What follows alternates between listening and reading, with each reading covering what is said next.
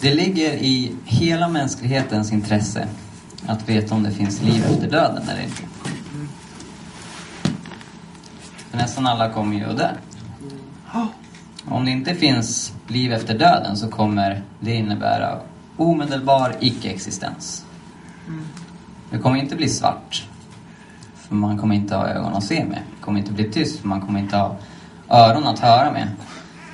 Och inte nog med att man aldrig någonsin kommer uppleva något. Man kommer inte ens minnas att man någonsin har upplevt något. Och för de flesta av oss så skulle en sådan tillvaro vara mycket värre än den tillvaro vi har här och nu. Och det visar ju sig i att vi inte ännu har tagit livet av oss själva. Dock finns det människor som, som upplever att, att livet här och nu är så fyllt av lidande och, och misär. Att de eh, ser döden som en befrielse från detta. Eh, och det är ju förfärligt tragiskt. Men även för dessa så vore ett evigt liv utan lidande vara så mycket bättre än icke-existens. Så därför är det högst relevant för alla människor att veta, finns det liv efter döden? Och vi vill just veta detta. Vi vill inte hänga upp våra liv på en chansning, på fromma förhoppningar. Vi vill ha reda på, finns det en väg som leder till odödlighet? Och i så fall, hur kan jag finna den vägen? Men går det då att veta detta? Eller är det inte bara chansningar när vi spekulerar om livet efter detta? Under julhelgen så har jag läst en väldigt bra bok. Den är gul. Den heter Himlen finns på riktigt. Skriven av Todd Burpo.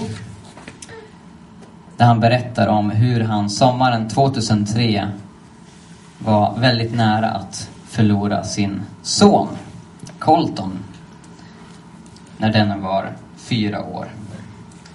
Men Colton överlevde tack vare kirurgernas skicklighet och församlingens väldigt passionerade böner. Det mest dramatiska var faktiskt inte det faktum att de höll på att förlora honom. Utan att efter ett tag, det uppenbarade liksom del för del, så, så insåg de att här säger vår väldigt lille son att han har sett Jesus, han har sett änglar, han har sett himlen när han låg på operationsbordet. Men han dog aldrig.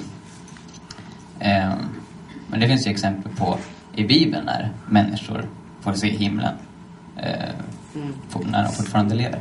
Nå, nära döden-upplevelser ska man ta med en nypa salt. Eh, för att rent psykologiskt så kan man börja inbilla sig eh, stora saker när man utsätts för så mycket press. Eh, dock är Coltons historia eh, rätt speciell och fascinerande just för att eh, han och hans familj och deras vänner och andra i deras närhet eh, menar att han har eh, sedan den här händelsen tillgång till information som han inte hade tidigare. Han kunde beskriva himlen bibliskt exakt. Han kunde utlägga teologiska sanningar som de inte hade lärt sig på söndagsskolan. Han kunde beskriva vad hans föräldrar hade gjort medan han låg medvetslös på operationsbordet. Och inte minst så kunde han eh, beskriva avlidna släktingar som hade dött innan han fanns till. Han kunde peka ut sin gammelmorfar eh, på ett väldigt gammalt fotografi som han aldrig hade sett förut. Eh, och han berättade eh, att han hade mött, som alltså han sa, sin andra syster som eh, dog i ett missfall innan han själv föddes. Eh, något som ingen hade berättat för honom. Och hans budskap är mycket enkelt. Det är tryckt på framsidan så man ska se det. Himlen finns på riktigt. Och det är underbart. Han, han berättar om hur han där i himlen sitter i Jesu knä. Och Jesus förklarar för honom varför Jesus var tvungen att dö på korset. Jesus sa, eh, jag var tvungen att dö för att människorna skulle lära känna min pappa. Att lära känna Jesu pappa, att lära känna Gud, det är att få evigt liv. Bibeln sätter likhetstecken mellan evigt liv och att ha relation med Gud. Till exempel i Johannes evangeliets 17 kapitel. Så himlen är att vara i Guds omedelbara närvaro. Där ingenting skiljer oss från honom. I vår nuvarande form förmår vi inte detta. På grund av det Bibeln kallar synd. Gud är alltigenom helig, alltigenom ren och god.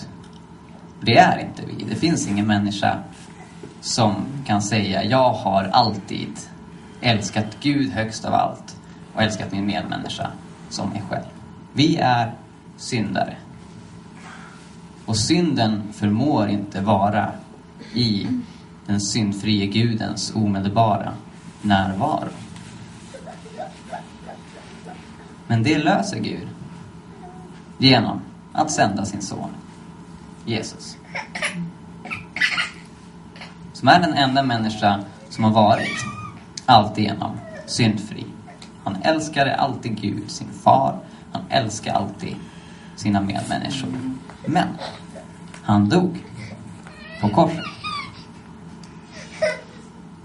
Han dog den död som han inte förtjänar.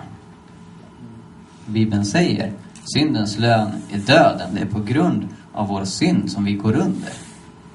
Det liv vi har fått från Gud kan inte stanna kvar i oss när vi vänder oss från Gud, när vi gör det som är mot hans vilja. Så Jesus var den enda som förtjänade evigt liv, men han dog den död som han inte förtjänar för att vi skulle få det eviga liv som vi inte förtjänar. Genom att ge oss till honom. Och så får vi syndernas förlåtelse. Vi får evigt liv. Genom att släppa in Jesus i våra hjärtan. Och när det sker finns det ingen anledning att vara rädd för döden. Bibeln säger att Jesus genom sin död skulle göra den maktlös som hade döden i sitt våld, det vill säga djävulen, och befria alla dem som av fruktan för döden hade levt i slaveri hela sitt liv.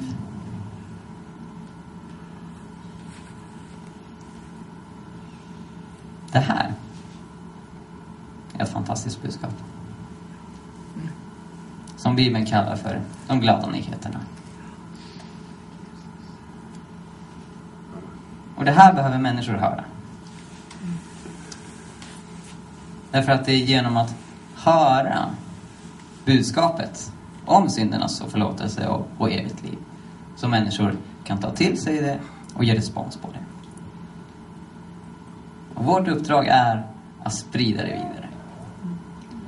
Den här församlingen, Mosaik, planterades just för detta syfte. Att sprida budskapet om Guds rike i Uppsala. Det är därför vi finns till. Det är det vi ska ägna oss åt.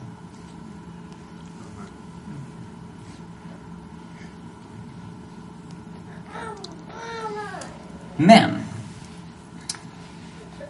då kommer förstås frågan, hur gör vi detta? Hur sprider vi detta budskap? Eh, jag höll faktiskt en predikan om detta eh, för sådär ett halvår sedan. Den finns på Youtube Om ni har missat. Ja. Den heter Evangelisation i ord, gärning och i kraften av tecken under. Och det jag säger där, det är att vi ska predika evangeliet i ord, i gärning och i kraften av tecken under. Mm. Därför att Paulus predikade evangeliet i ord, i gärning och i kraften av tecken under. Och det gick ganska bra för honom. Jag tycker vi ska göra samma sak. Mm. Vi ska inte låta dessa tre aspekter spela ut varandra, utan de behövs alla tre. Men idag vill jag fokusera på vad är det egentligen vi ska säga när vi predikar evangeliet i ord?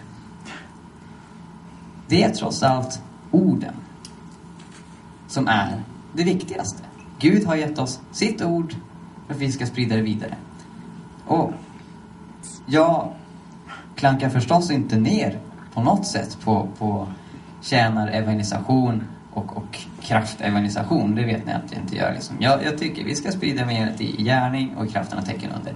Men rent krasst, om vi är hur snälla och kärleksfulla som helst, vilket vi ska vara, om, hur, hur, om, om den helige Ande gör hur stora mirakler bland oss som helst, vilket vi vill att han ska göra. Men vi inte på något minsta sätt kommunicerar, berättar om den Gud som har lagt ner sin kärlek i våra hjärtan och om den Gud som gör så mäktiga gärningar bland oss så kommer ingen att vända om. Vi måste berätta. Det är oerhört viktigt. Och vi måste veta vad vi ska säga när vi predikar evangeliet. Så jag har eh, gått igenom Apostlagärningarna. Där eh, Jesu lärjungar predikar evangeliet. Jag har studerat vad är det de säger när de predikar evangeliet. Och jag blev förvånad, faktiskt. Jag upptäckte en sak som jag inte hade tänkt på förut. Det jag inte förvånades av, men som är väldigt, väldigt, otroligt, väldigt viktigt att stryka under. Det är att när de predikar evangeliet så predikar de inte om sakerna i marginalen. De predikar inte de små sakerna utan de predikar kärnan. De predikar Jesu död för våra synder. Hans mirakulösa uppståndelse. De predikar syndernas förlåtelse. De predikar frälsning. De predikar evigt liv. Kärnan i det kristna budskapet. Och i en tid när det predikas så mycket annat är det väldigt viktigt att vi aldrig någonsin lämnar kärnan. När vi predikar evangeliet så ska vi predika korset, frälsningen, syndernas förlåtelse. Men det jag förvånades av, det var att det var inte, de en, det, var inte det enda som de kommunicerade när de predikade evangeliet. Det var naturligtvis det som var kärnan, det är det som är evangeliet, de glada nyheterna. Men när de presenterar evangeliet så säger de några andra saker också som de liksom bakar in och som är väldigt viktiga för att budskapet ska gå fram. Och vad är då detta? Nu är ni nyfikna. Då tar vi och öppnar våra biblar. Om vi har med oss dem. Och så börjar vi läsa från Apostlagärningarna 13. Paulus, den före detta kristendomshataren som sprang runt och fängslade kristna och röstade för att de skulle avrättas. Han har blivit radikalt omvänd och är nu på sin första missionsresa för att predika evangeliet i ord och gärning och kraften och tecken under, som han brukar göra. Och i Apostlagärningarna 13 så står det att han har kommit till staden Antiochia i Pisidien. Och där besöker han en synagoga, en judisk gudstjänstlokal och eh, deltar i gudstjänsten där. Efter ett tag så säger synagogföreståndaren att nu så kan vem som helst som har något att dela av tröst eller uppmuntran, eller förmaning står det, till folket som sitter här. Den personen kan dela det. Då kommer jag att tänka på våra Jesus-historier som vi brukar ha i den här församlingen när vi berättar vad, vad, Jesus har gjort i våra liv. Dock handlar dessa historier inte så ofta om Jesus, men nu var Paulus där. Och Paulus tar tillfället i akt. Så han reser på sig och så börjar han tala. Han talar om uttåget från Egypten, om Moses, om hur Israels folk intar det utlovade landet. Han går igenom Gamla Testamentet väldigt, väldigt snabbt, väldigt, väldigt kort och koncist och kommer fram till kung David. Så funderar jag, varför går han inte direkt till Jesus? Varför sätter han inte omedelbart igång med att tala om hur vi blir frälsta genom Jesus? Varför börjar han med att gå igenom Gamla Testamentet? Jag menar, de är ju en synagoga, då borde de ha koll på vad det står i Gamla Testamentet redan. Men det här är väldigt tydligt, genomgående, när apostlarna predikar evangeliet i Nya Testamentet. De anknyter till vad åhörarna redan tror på. Hela Gamla Testamentet pekar ju fram mot Jesus. Bibeln är en helhet om Guds förbund med människan. Och allt pekar fram emot Kristus. Profeterna talar om Kristus. Psalmerna talar om Kristus. Pekar fram.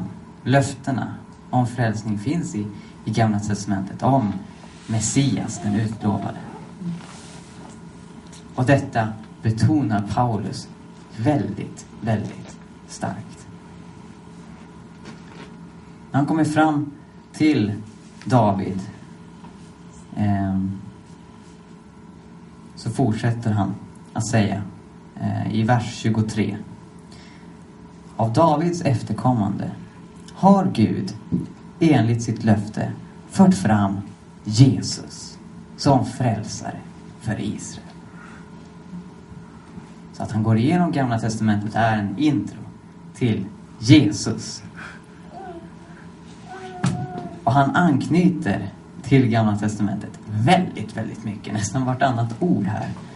Av Davids efterkommande, alltså Jesus, han är släkt med David. Han är, han är släkt med en central person i er religion, i er historia, i vår historia. Paulus var ju själv jude. Och Gud har enligt sitt löfte, Gud har lovat i de heliga skrifterna att Jesus skulle komma. Jesus, frälsare för Israel.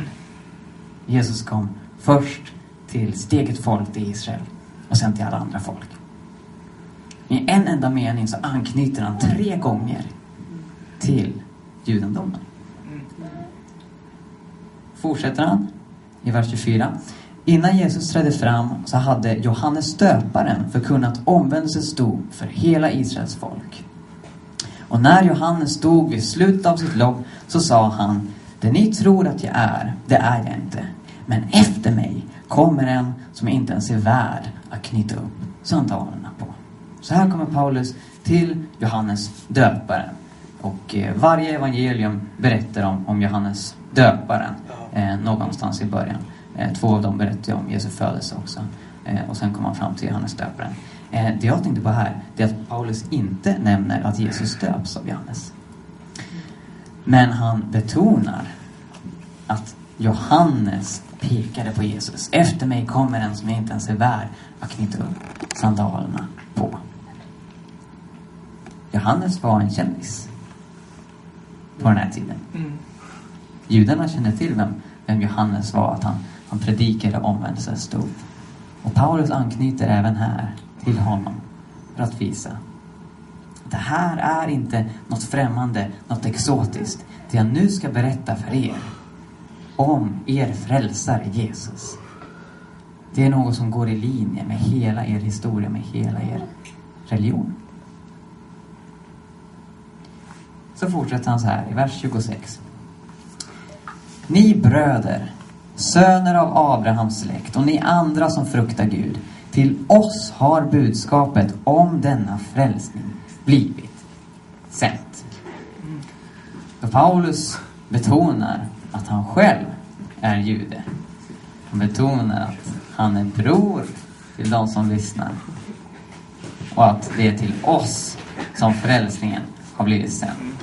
Till det judiska folket. Han, han inkluderar alla söner av Abraham, alltså de biologiska judarna, eh, och ni andra som fruktar Gud, vilket var term för så kallade proselyter, det vill säga Eh, människor som tillhörde andra etniciteter men som hade kommit till tro på judendomen. Man han inkluderar alla och säger det är till oss som det här budskapet har blivit sänt.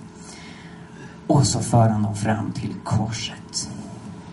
Jerusalems invånare och deras ledare förstod inte vem Jesus var.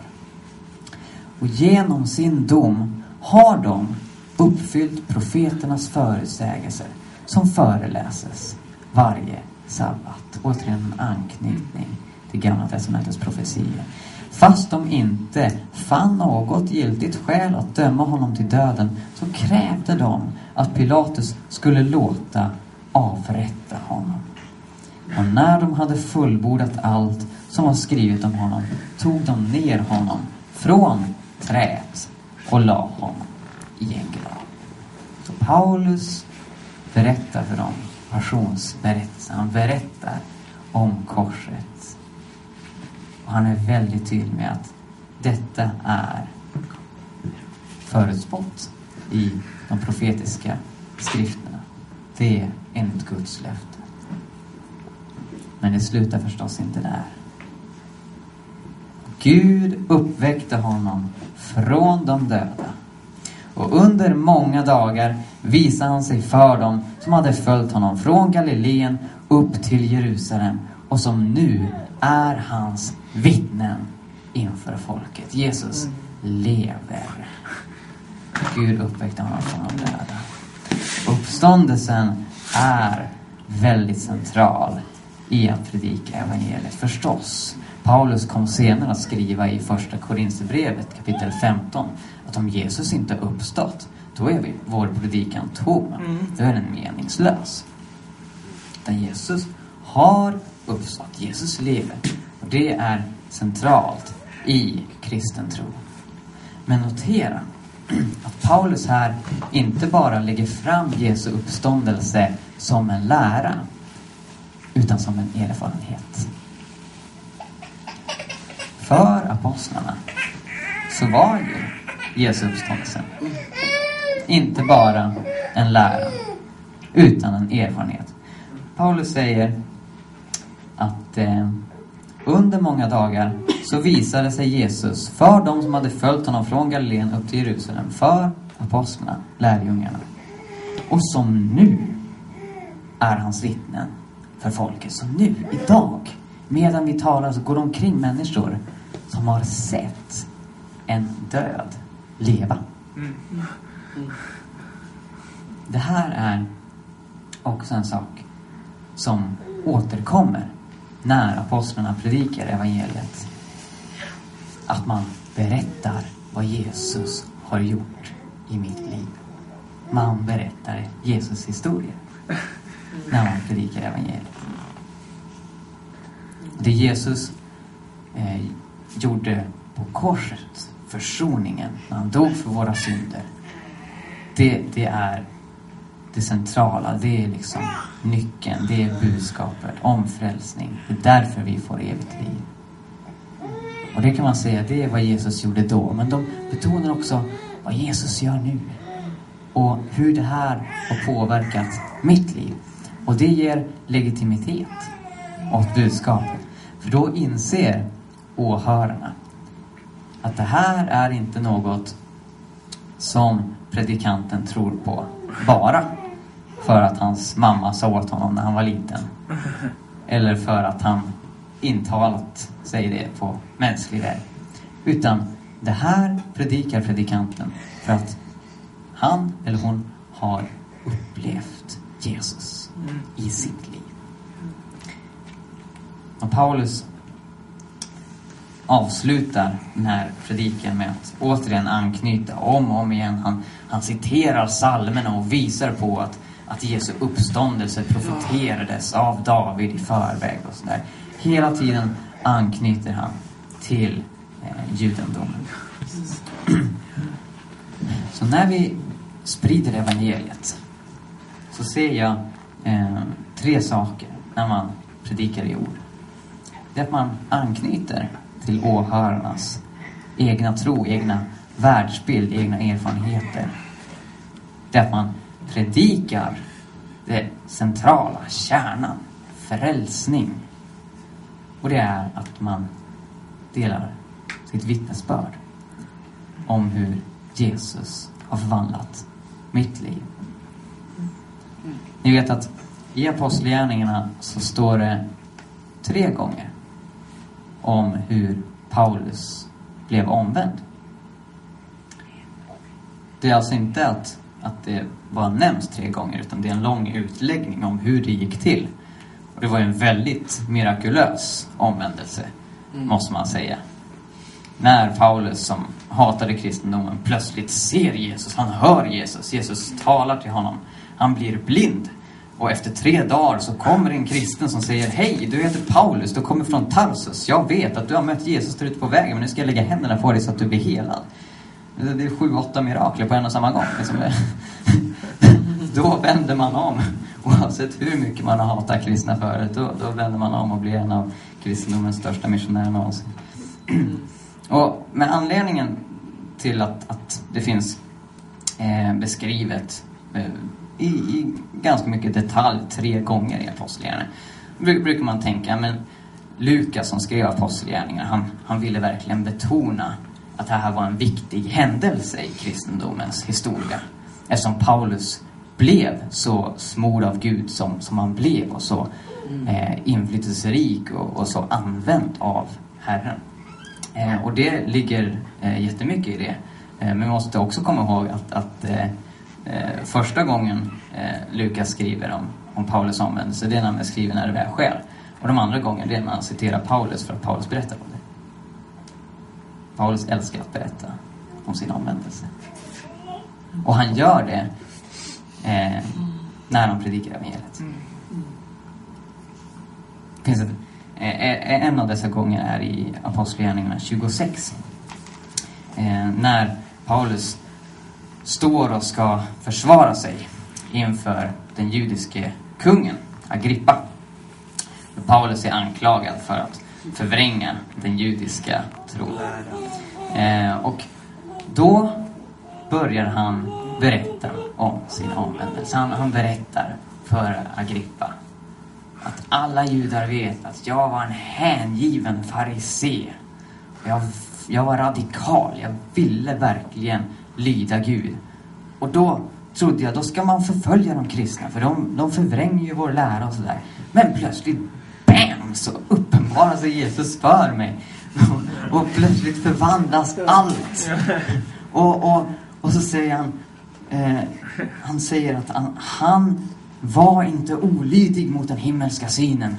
Men Jesus har talat till honom. Han, Jesus visade sig för honom och strålade ljus och kallade honom till att bli missionär för evangeliet. Och jag vill inte vara olydig. Jag lyder honom.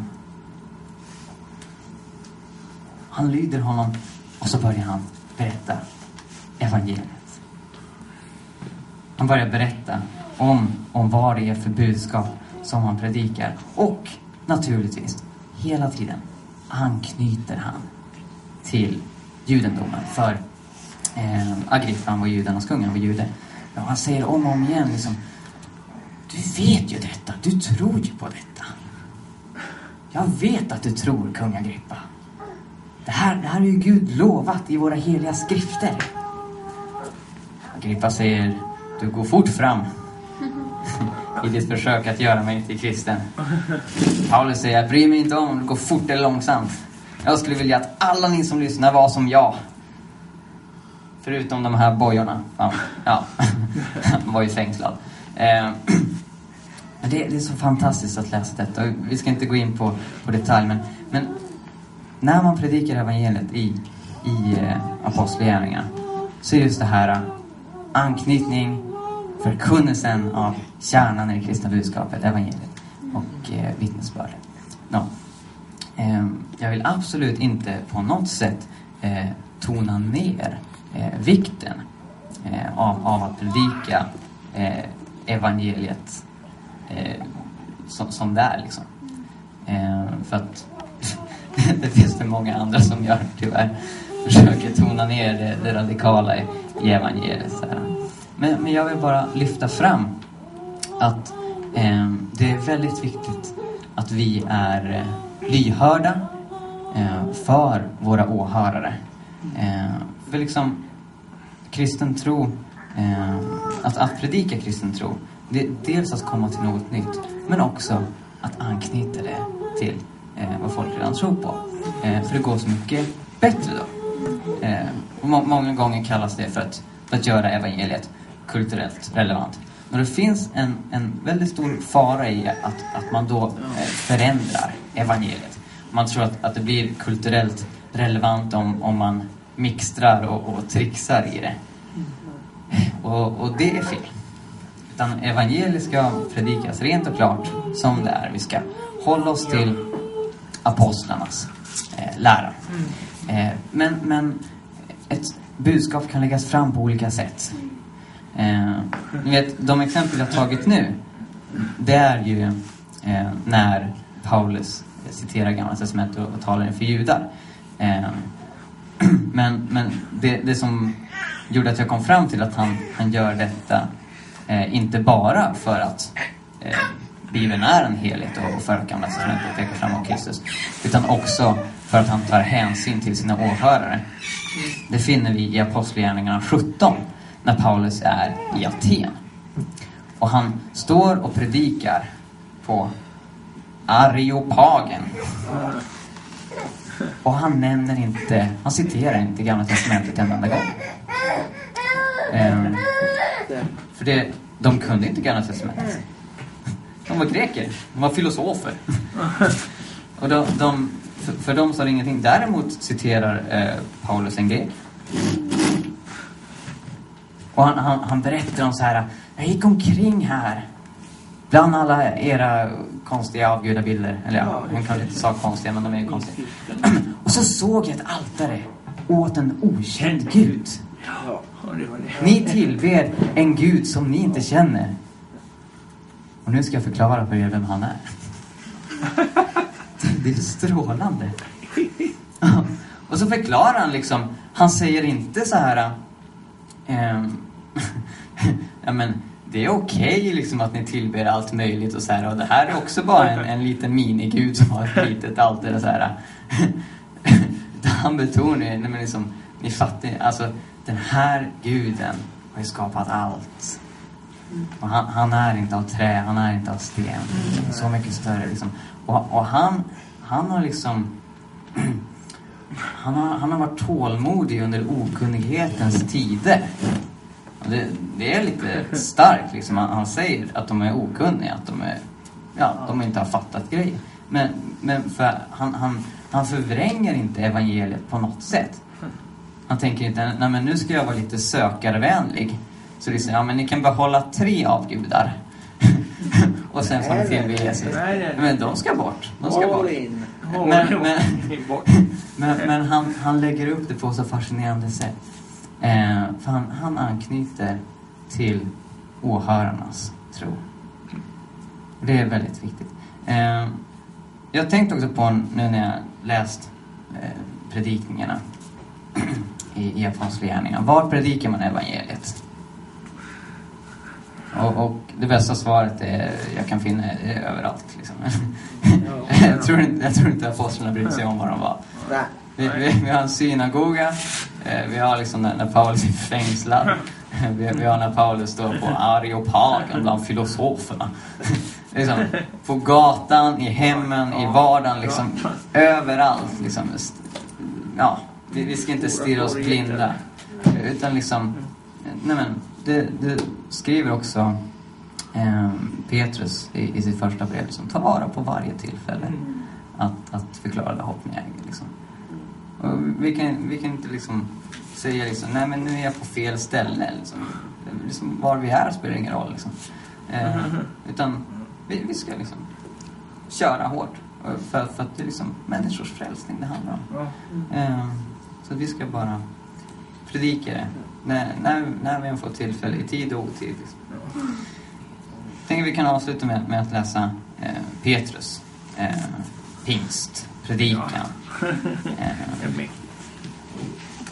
bara för att betona att Paulus inte är den enda som, som använder den här evangelisationstekniken. Utan även Petrus är det på ett riktigt fantastiskt sätt. Nå, eh, på pingsten eh, så, så sker ganska eh, roliga saker. Den helige Ande blir utgjuten. De kristna börjar tala alla möjliga språk. Latin, arabiska, kurdiska, persiska, mesopotamiska, egyptiska, bla bla blaiska. Liksom ma massa, massa språk så här. Och folk blir förvånade. Och så säger de, hur kan dessa outbildade män från Galileen, den hålan, predika på alla möjliga språk? Ehm, alltså, ja, precis. Precis, Andreas. De har blivit berusade, är det några som, som kommer med igen sen. Mm. Och då, då tar Petrus till orda. Ehm, han säger, nej. Eh, det är inte så ni tror att de är berusade. Eh, klockan är ju faktiskt bara nio. Nej, det här, det är det som är sagt genom profeten Joel. Så börjar han citera ur Gamla Testamentet, ur de profetiska skrifterna. Det ska ske de sista dagarna, säger Gud. Jag ska utgjuta av min ande över allt kött. Era söner och era döttrar ska profetera, era unga män ska se syner, era gamla män ska ha drömmar. Ja, över mina tjänare och tjänarinnor ska jag i de dagarna utgjuta av min ande, de ska profetera. Jag ska låta under synas uppe på himlen och tecken nere på jorden, blod, eld och rök. Solen ska vändas i mörker och månen i blod innan Herrens dag kommer, den stora och härliga. Och det ska ske att var och en som åkallar Herrens namn ska bli frälst. Och säger Petrus, Israeliter, lyssna till dessa ord. Jesus från Nasaret var en man som Gud bekände sig till inför er genom kraftgärningar, under och tecken. Det är tre synonymer, va? Mirakler. Som Gud genom honom utförde mitt ibland er. Så som ni själva vet.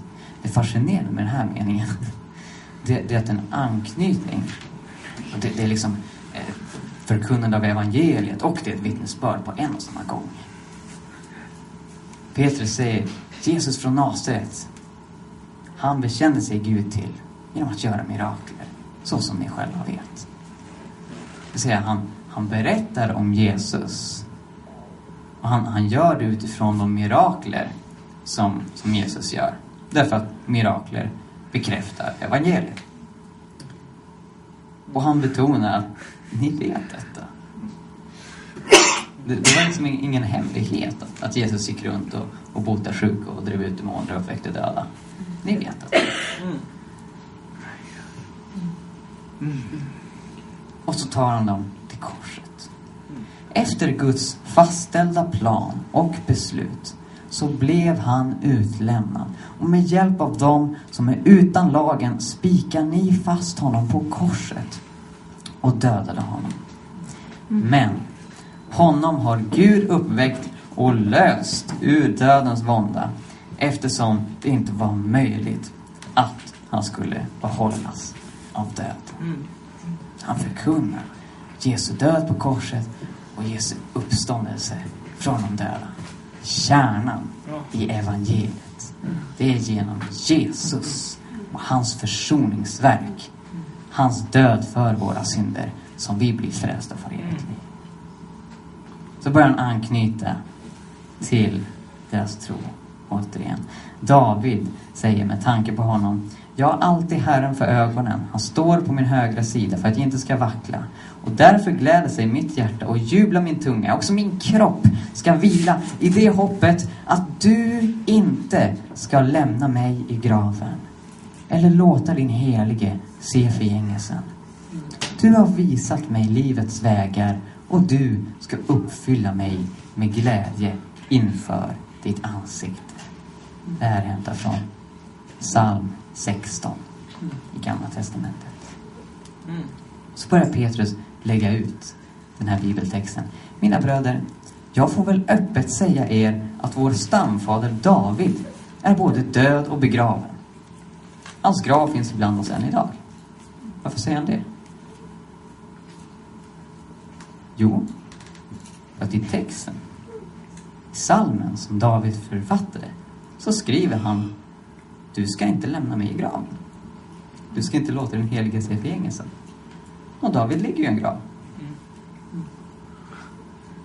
Vi måste erkänna, säger Petrus, David är död och begraven. Ja, ja. Vad innebär detta? Jo, förklarar Petrus. Han var profet.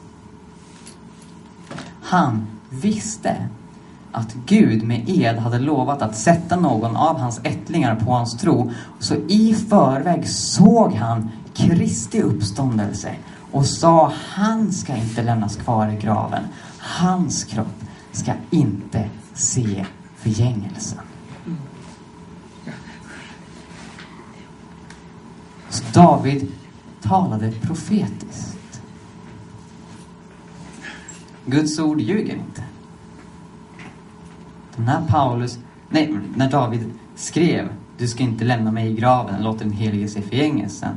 Så, så skrev han det i Kristi anda. Jesus skulle inte lämnas kvar där. Så att här förklarar Petrus. David kan inte syfta på sig själv. För han är ju död. Han syftar på någon annan. Han syftar på någon som uppstod från de döda. Det är den Jesus som Gud har uppväckt. Och vi är alla vittnen till det. Vi är vittnen till det. Vi har sett det här. Det här, det här är inte bara en mänsklig lära. Det här är något vi har sett och hört.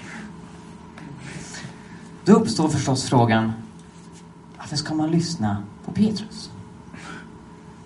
Vad säger att han är, har rätt?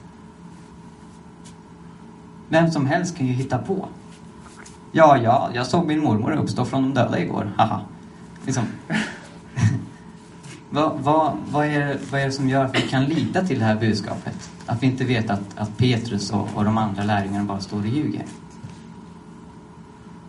Jo, Petrus fortsätter så här.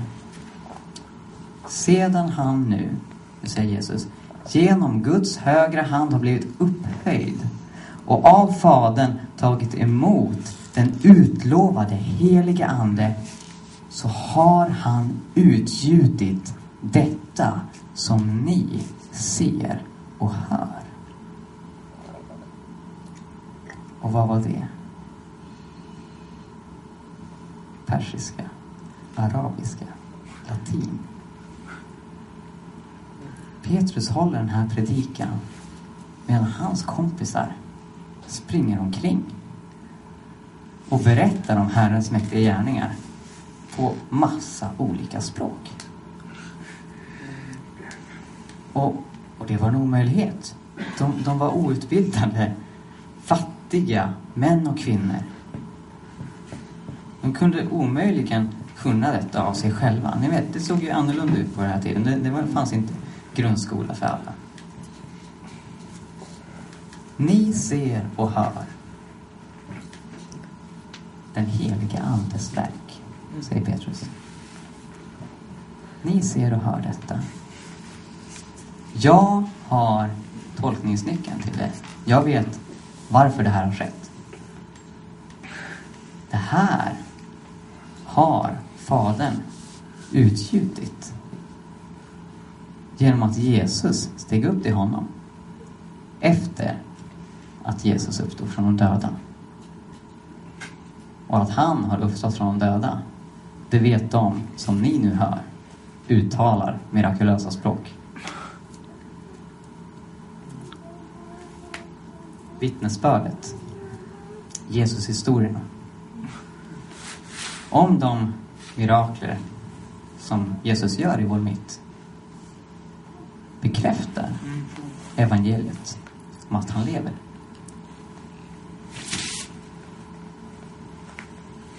Så Jesus-historierna, vittnesbörden, är in, inte så enkelt att skilja åt från att förkunna evangeliet och, för, och förkunna kärnan i det kristna budskapet. Jag brukar ju stå ute med pannkakskyrkan då. då. Dela ut pannkakor. Och eh, vittna för folk.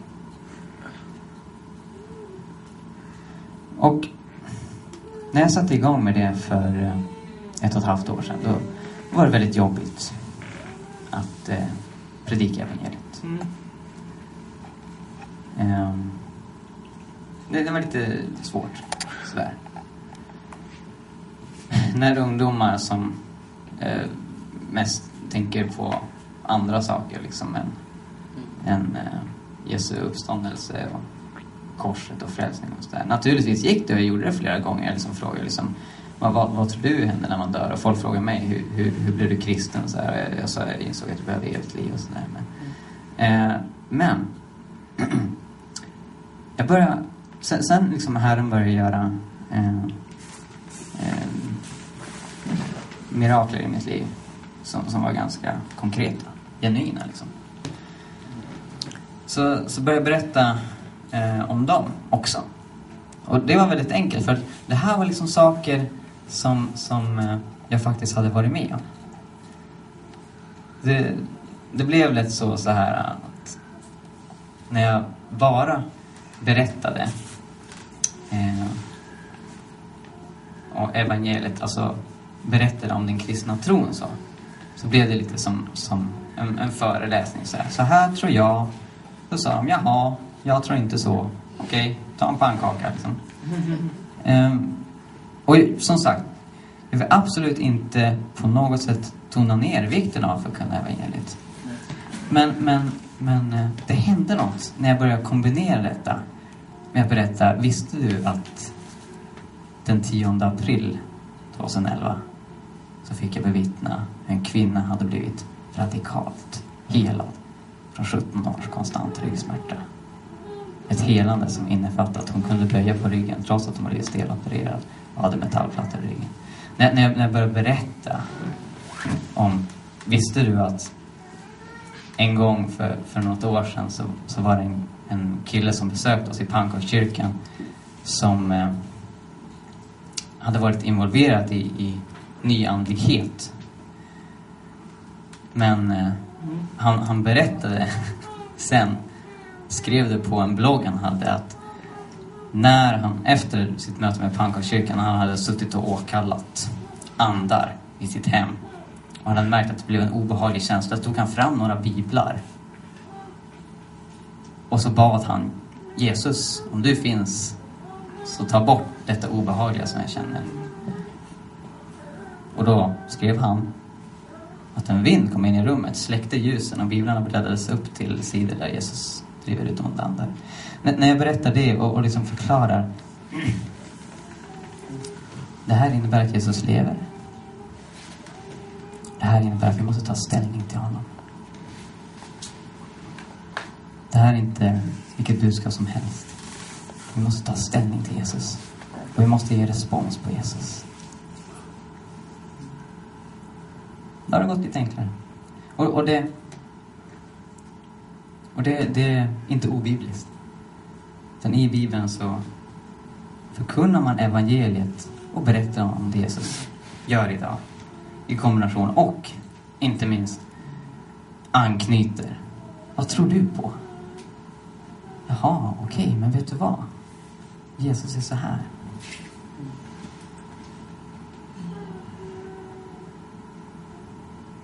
Petrus avslutar sin predikan Jag vill återigen citera David. Herren sa till min herre, sätt dig på min högra sida tills jag har lagt dina fiender som är fotpall under dina fötter. Mm. Därför ska hela Israels folk veta att den Jesus som ni korsfäste, honom har Gud gjort både till Herre och Messias. Och när de hörde detta högt till i hjärtat på dem. De frågade Petrus och de andra apostlarna, bröder, vad ska vi göra? Petrus svarade, omvänd er. Vänd om, sluta gå på den väg ni går. Och låt er alla döpas i Jesu Kristi namn så att era synder blir förlåtna. Så att ni blir heliga inför Gud. Då ska ni få den helige Ande som gåva. För er gäller löftet. Era barn och alla de som är långt borta, så många som Herren kallar. Gäller er. Nå, när jag var på Pannkyrkokonferensen så berättar Samuel, som, som är en av eh, grundarna av Pannkyrkan och ledarna. Men han var i Göteborg fem år sedan med en eh, missionsorganisation som heter Mission SS. De stod på, på Avenyn, i Göteborg. Och det var en kille som, som eh, förkunnade Jesu död och uppståndelse. Han, han gick igenom det man brukar kalla för passionsberättelsen. När Jesus lider och dör för våra synder och sen uppstår igen. Och Samuel sa att, att han kom inte liksom med, med argument. Han liksom började inte argumentera så här liksom och försvara. Han bara enkelt berätta mm. vad Jesus har gjort. Mm. Och resultatet av det var att ungefär sju ungdomar kom fram sen när de gjorde en frälsningsinbjudan. De liksom gick ifrån sina coola kompisar och brydde sig inte om det utan de gick fram för att ta, ta emot Jesus. Så naturligtvis vet jag inte hur det har gått för dem idag och så här, var de är och sådär. Eh, men jag vet att det är ändå bättre att man, man står och predikar och, och ingen kommer fram. Mm. Mm. Mm. Så att, att bara liksom förkunna vad Jesus har gjort. Att, att bara förkunna evangeliets liksom, kärnan eh, räcker många gånger.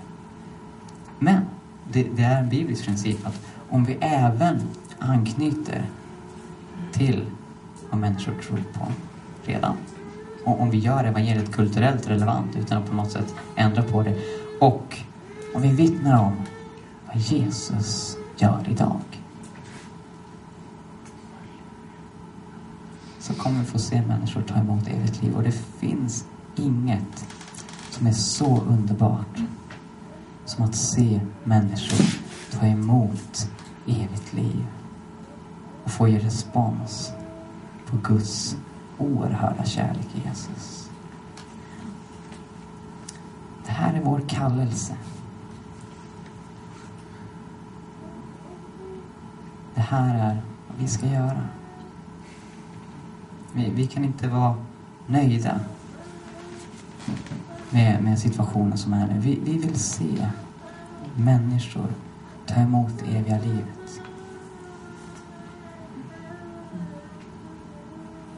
Och Gud vill använda oss till det.